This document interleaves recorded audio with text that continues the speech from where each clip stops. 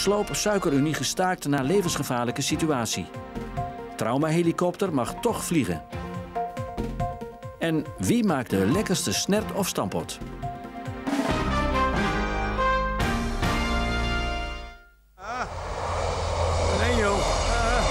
De sloop van de Suikerunie heeft tot een levensgevaarlijke situatie geleid.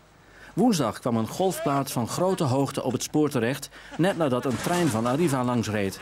Een toevallige voorbijganger filmde het voorval en speelde dit door aan Arriva en ProRail. Daarop is besloten alle werkzaamheden per direct stil te leggen. Volgens het sloopbedrijf is de wind de boosdoener geweest. Die, die plaat die had, eh, die had eh, bevestigd moeten worden. Die had, eh, en dat is op een of andere manier dus niet goed gegaan. Toen is de wind eronder gekomen. Het was niet zo dat het dinsdag heel hard waaide. Want dan zullen we normaal ook nooit dit soort activiteiten doen. Maar toch is de wind eronder gekomen. Het is aluminium, dus het is vrij licht materiaal. Ja, en dat gaat daardoor dus een heel eind door, de lucht, door de lucht zweven. En dat is, dat is hier aan de hand geweest. Vandaag heeft overleg plaatsgevonden tussen het sloopbedrijf en de andere betrokken partijen. Afgesproken is dat het sloopbedrijf begin volgende week met een veiligheidsplan komt. U mag ervan uitgaan dat wij uh, vanaf uh, vanmiddag, en dat zal ook waarschijnlijk morgen en misschien zondag ook nog wel, het nodige uh, denkwerk hebben om in elk geval een volledig veilige manier, of op een veilige manier te kunnen slopen. en te voorkomen dat het niet weer gaat gebeuren.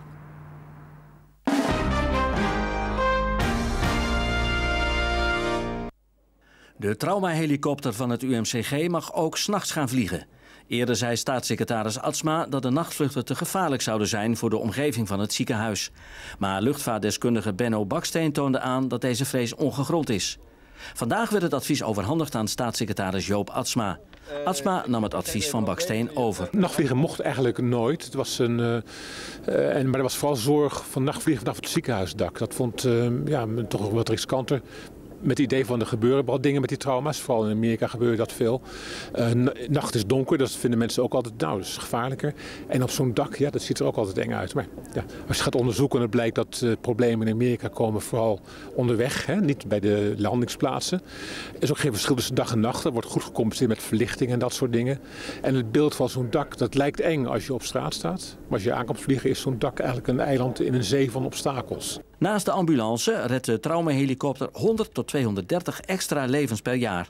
Daar komt dankzij de nachtvluchten nog eens 40% bij. Nu blijkt dat er geen enkel risico uh, is als je de vergelijking trekt tussen overdag en s'nachts. En we hebben in november vorig jaar al aan Baksteen gevraagd om dit te onderzoeken. Nou, dat heeft hij dus gedaan. En hij is versneld met zijn conclusies gekomen omdat, en dat moeten we natuurlijk niet vergeten, de vraag waarom we dit zo belangrijk vinden, is dat je juist door het vliegen met deze traumahelikopter overdag en s'nachts in heel Noord-Nederland levens kunnen redden. Eerder werd duidelijk dat op 1 april wordt begonnen met de nachtvluchten, maar dat kan nu per direct. Want als het gaat om het redden van levens, dan is er geen seconde te verliezen. Als je dus eh, reddende vluchten uh, uitvoert, dan moet het niet zo zijn dat je in de regio of in, hier in, in de stad uh, extra risico's zou lopen. Nou, dat is gelukkig niet aan de orde. Ja, en daarom ben ik ook ontzettend blij dat alle zijnen nu op groen zijn gezet. Het is gelijk al voor het gedrukt is, is het al overgenomen en, en beslist. Dus dat is vanaf nu geweldig.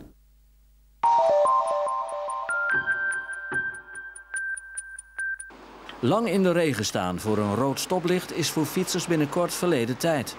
De gemeente wil namelijk stoplichten met zogeheten regensensoren gaan uitrusten. De sensoren zorgen er namelijk voor dat het stoplicht voor fietsers eerder op groen springt dan normaal. Om te bekijken of het bevalt, gaat de gemeente er eerst een proef mee beginnen bij de Oosterbrug tussen het centrum en de Oosterpoortwijk. Gasterra Flames heeft gisteravond weer gewonnen van ZZ Leiden. In Leiden werd het 79-69 voor de Flames. Vorige week wonnen de Groningers nog met 81-70. Topscorer bij de Flames gisteravond was Matt Harrias met 18 punten. Door de winst neemt koploper Flames afstand van Leiden. Flames heeft nu 46 punten uit 25 wedstrijden. En Leiden staat op de tweede plaats met 40 punten uit 26 wedstrijden.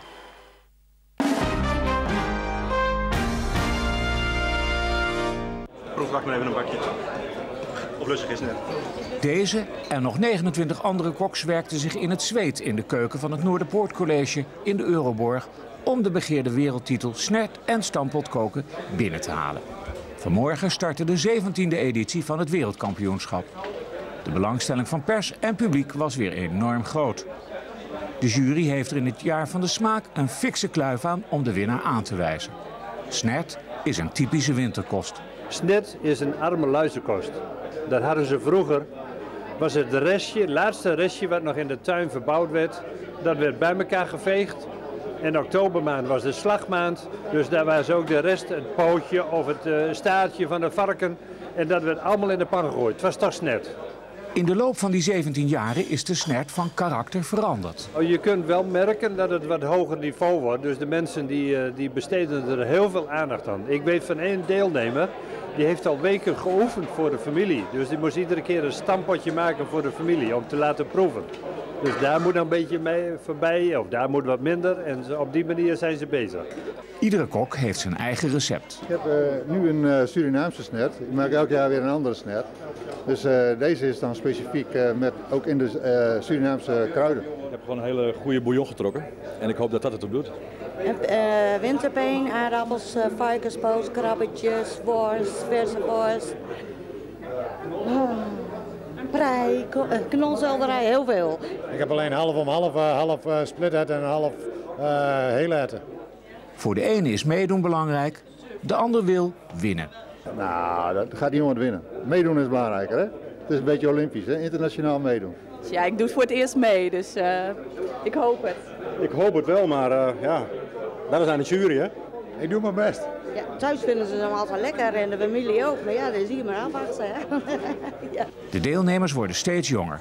De jongste deelnemer is 12 jaar. Stampot tomaat met, uh, salami, met gebakken salami. En is die ook lekker? Ja. Ga je ermee winnen? Ik weet het niet. Je hoopt het? Ik hoop het heel erg. De prijs bestaat uit een fraaie beker. En eeuwige roem natuurlijk.